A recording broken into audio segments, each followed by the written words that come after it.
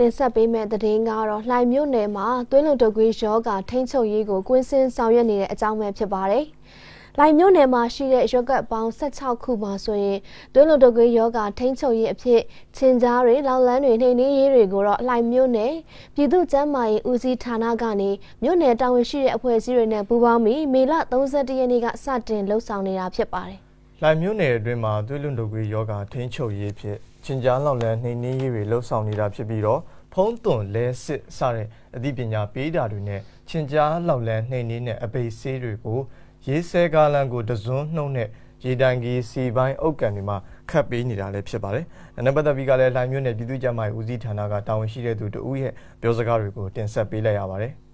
ဝင်းစင်းဆောင်ရွက်တဲ့အခါမှာပေါ့နော်ကျမတို့ကတော့ကျမရေးဌာနတရက်ကွက်ကိုတရက်ပေါ့နောက်နေ့ကျရင်တော့နောက်ရက်ကွက်ကိုရွှေ့သွားတာပေါ့အဲ့ဒီခါမှာနောက်ရက်တွေမှာလည်းပြည်သူလူထုအနေနဲ့ပေါ့နော်ကိုယ့်အိမ်ကိုကိုယ့်လမ်းကိုပိုးလောက်လမ်းကိုဆက်လက်စစ်ဆေးပြီးတော့ပေါ့နော်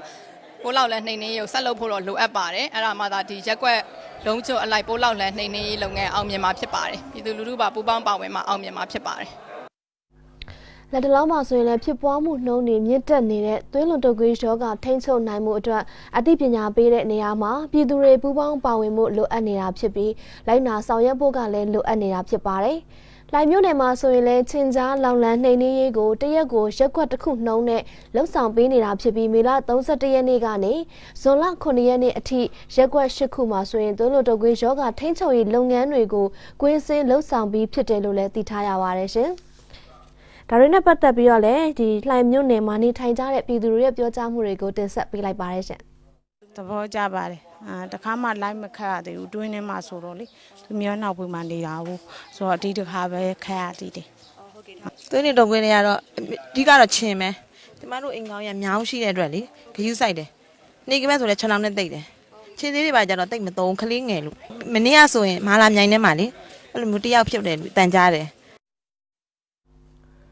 ရန်ကုန်တိုင်းဒေသကြီးမှာ2018ခုနှစ်မေလအကုန်အထိကိုသွေးလွန်တုပ်ကွေးရောဂါဖြစ်ပွားတဲ့သူဦးရေက1300ကျော်ရှိပြီးတော့သေဆုံးသူက10ဦးအထိကိုရှိခဲ့တာကြောင့်သွေးလွန်တုပ်ကွေးရောဂါထိန်းချုပ်ရေးကိုရန်ကုန်တိုင်းဒေသကြီးမြို့နယ်44မြို့နယ်မှာအရေးပေါ်ကာလအဖြစ်လှုပ်ဆောင်နေတာလည်းဖြစ်ပါတယ်။ရန်ကုန်တိုင်းဒေသကြီးအတွင်းမှာကတော့လိုင်သာယာမြို့နယ်ဒဂုံမြို့သစ်မြောက်ပိုင်းဒဂုံမြို့သစ်အရှေ့ပိုင်းဒဂုံစိတ်ကမ်းမြို့နယ်နဲ့တာဂီတာမြို့နယ်စတဲ့မြို့နယ်တွေမှာသွေးလွန်တုပ်ကွေးရောဂါဖြစ်ပွားမှုက အများဆုံးဖြစ်တယ်လို့လည်းပြည်သူ့ကျန်းမာရေးဦးစီးဌာနကနေပြီးတော့လည်းသိရပါတယ်ခင်ဗျဟုတ်ပါတယ်ဒါကတော့လှိုင်မျိုးနယ်မှာသွေးလွန်တုပ်ကွေးရောဂါထိန်းချုပ်ရေးတွေကိုကွင်းစင်းဆောင်ရွက်နေရဆိုတဲ့အကြောင်းပဲဖြစ်ပါတယ်